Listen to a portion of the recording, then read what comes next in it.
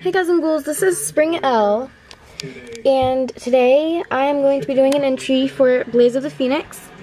I'm going to be entering her um, one year anniversary contest. So yes, um, for my entry, um, I decided not to do three. Um, I drew a Monster High character, she's custom. Um, I did not get this from the name of your YouTube channel, I uh, just I was thinking that they didn't make a phoenix um, for a character. Um, so I made a character, Phonica Sparks. I know that's not how you spell Sparks, but you know it's just supposed to be, um, you know, abnormal. I mean they're monsters. So yeah, of course she's daughter of the Phoenix. Her age is 16. Um, it's, it's not on here though. Um, okay, so of course it was made today. So here she is.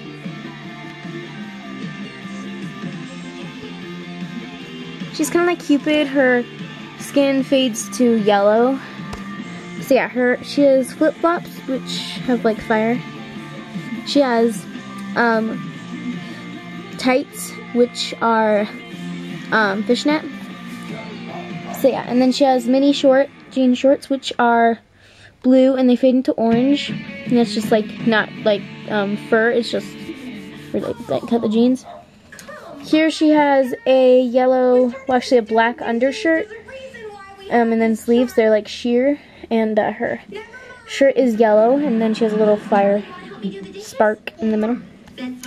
So yeah, and then of course she has her phoenix wings. Her hair is red, her eyes are orange, her, so are her eyebrows, and her lipstick is yellow. Sorry if it's like too simple, but yeah, this is for you. I've never had my own room before, so PJ's gone, I'm putting all this stuff in the So yeah, um, I hope you like it, and I hope that I, um, you know, yeah, I hope you like it.